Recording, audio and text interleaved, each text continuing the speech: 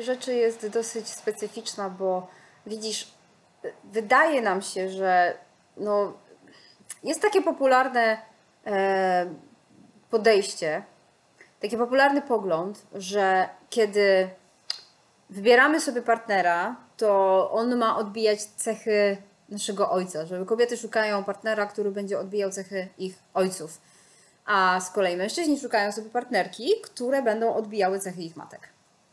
I to jest, to jest ogromne uproszczenie i tak naprawdę ten proces wyboru partnera jest inny. E, I wygląda to w ten sposób, że trzeba spojrzeć na takie dwa kluczowe e, w moim odczuciu aspekty, jakich się raczej nie analizuje na co dzień. Pierwszą rzeczą jest to, że spójrz na dynamikę relacji swoich rodziców czy swoich opiekunów i zastanów się, kto tam był dominującym rodzicem. Kto tam był dominującym partnerem w tej relacji, bo wybieramy sobie, uwaga, taką osobę na naszego partnera, która odbija dominujące cechy tego rodzica, o którego miłość było trudniej. Ok? Więc ten rodzic, o którego trzeba było się bardziej starać, na którego trzeba było bardziej uważać, o którego pochwałę bardziej chciałaś walczyć, którego aprobatę bardziej chciałaś zdobyć, którego akceptację, o którego akceptację bardziej ci zależało, to ten, te cechy tego rodzica, tych cech będziesz szukała w swoim partnerze. Tych dominujących cech będziesz szukała w swoim partnerze. I możliwe, że jest jeszcze druga rzecz, którą trzeba wziąć pod uwagę. Czy to jest projekcja, czy to są faktycznie cechy Twojego partnera? Tu jest to rozróżnienie, z którym jest bardzo ciężko. E, bo raz, że szukamy właśnie partnera, który odbija te dominujące cechy tego rodzica, o którego miłość było trudniej, i dominujące cechy tego rodzica, o którego miłość było trudniej, e, one się zmieniają w zależności od naszego rozwoju, od etapu, na jakim jesteśmy. Wiele kobiet, z którymi pracuję, mówi, że szukałam sobie kogoś, kto trochę będzie trochę jak mój tata, ale teraz odnajduję, że mój partner bardziej odbija cechy mojej mamy. A ja czuję się jak mój ojciec. E, I to w zależności od tego, na jakim etapie rozwoju jesteśmy, te dominujące cechy, te rzeczy, których szukamy właśnie w naszym partnerze, do zauważenia, uleczenia, przepracowania, odpuszczenia, te właśnie cechy, w zależności od tego, na jakim etapie jesteśmy, one uwidaczniają się w tym, co projektujemy na naszych partnerów. No i właśnie, i teraz to rozróżnienie, to jest ten, ten, ta druga ważna rzecz, o którą trzeba, e, o której trzeba powiedzieć. E, trzeba umieć rozróżnić, czy ja projektuję na ciebie te cechy, których szukam i doszukuję się w nich. E, I zanim w ogóle cokolwiek zrobisz, powiesz, czy dokonasz, czy spytasz, czy powiesz, to ja już wiem, że to jest właśnie to.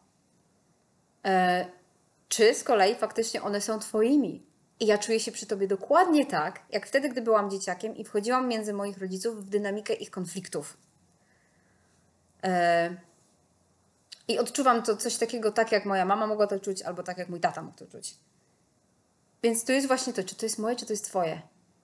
Czy to jest moja projekcja, czy to jest Twoje zachowanie z kolei.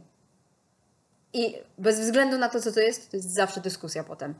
Zawsze trzeba o tym pogadać zawsze trzeba sprawdzić, e, czy jesteście na tym samym, e, czy jesteście z tej samej strony barykady. Ok?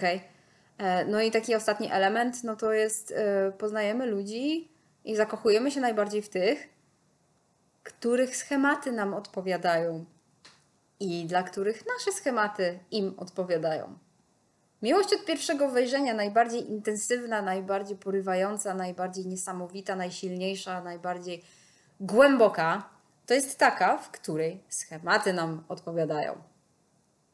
To nie jest tak, że tak świadomie wybieramy sobie tych partnerów i to jest ta magia i to już jest to i w ogóle, bo z czasem ta sama osoba, w której się tak mocno, głęboko zakochujesz, czy ona po 15 latach jest tą samą osobą wciąż?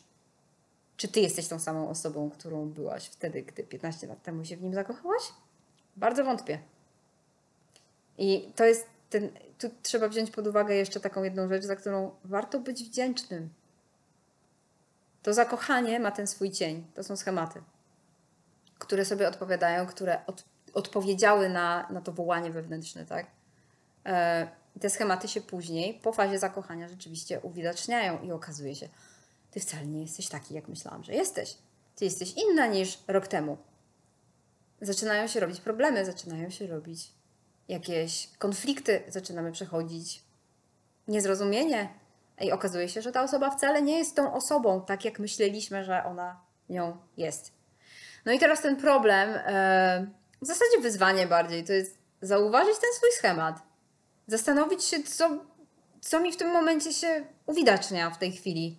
Co poprzez relację z tobą ze mnie w tej chwili wychodzi, co było we mnie, że przyciągnęłam akurat ciebie i tego właśnie doświadczam w tym momencie. I za to mogę być tobie, mój partnerze, wdzięczna, bo widzę prawdę o sobie.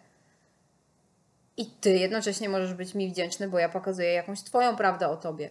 Czy chcemy być razem? No to już jest kwestia, to, to już jest kwestia, którą musimy sobie sami odpowiedzieć, bo jeśli chcemy być ze sobą, to za tym zadeklarowaniem pójdzie deklaracja, przepraszam, za tym zadeklarowaniem pójdzie już zobowiązanie, którego będziemy dopełniać wzajemnie dla siebie.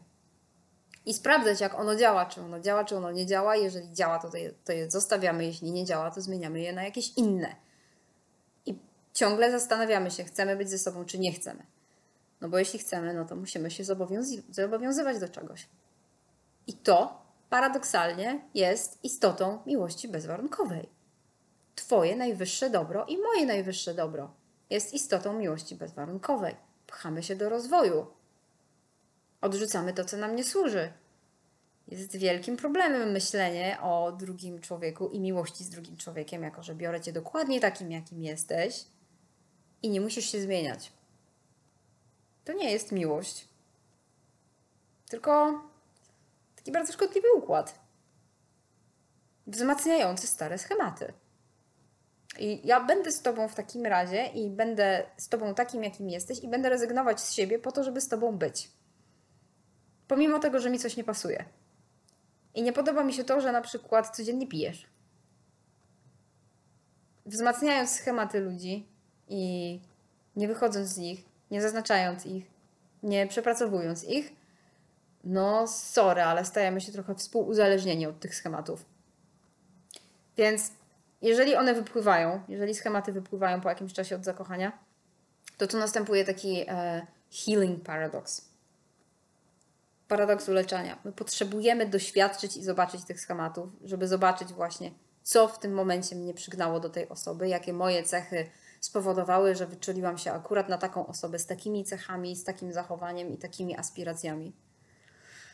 I jakie moje potrzeby są niezaspokojone w tej chwili jakie moje potrzeby wybijają się na pierwszy plan, co ja mogę zrobić i jak sobie dać miłość, uwagę, jak sobie dać to, czego potrzebuję w tym momencie, żeby nie przemawiały przeze mnie moje schematy i żebym nie szukała takich schematów u kogoś, ale żeby we mnie była taka pełnia i taka, um, powiedziałabym,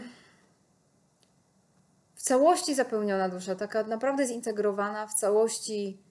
E, w całości już odebrane tym wszystkim starym doświadczeniom, które gdzieś zabrały jakieś te kawałki, żeby to wszystko wróciło. W pełni właśnie zintegrowana, całkowicie pełna. I z tego, z tego poczucia pełni możesz tylko zapraszać do miłości. Możesz tylko zapraszać do dzielenia się tym, co masz. E, więc no warto zwrócić właśnie uwagę na to przy doborze partnera. Kto był dominującym rodzicem w relacji między moimi rodzicami? Któremu z nich i w jaki sposób się ustępowało, na kim się bardziej koncentrowało, wokół kogo bardziej się to kręciło, e, jak rozwiązywane były konflikty albo jak one były, e, jaka była ich dynamika, o kogo pochwałę e, bardziej walczyłam, na czyjej akceptacji bardziej mi zależało. Bo te cechy będą odbijane w tym partnerze, którego wybierasz, i one doprowadzą do schematu, który wybija. I ten schemat jeśli się uleczy, prowadzi do pełnej, zdrowej miłości.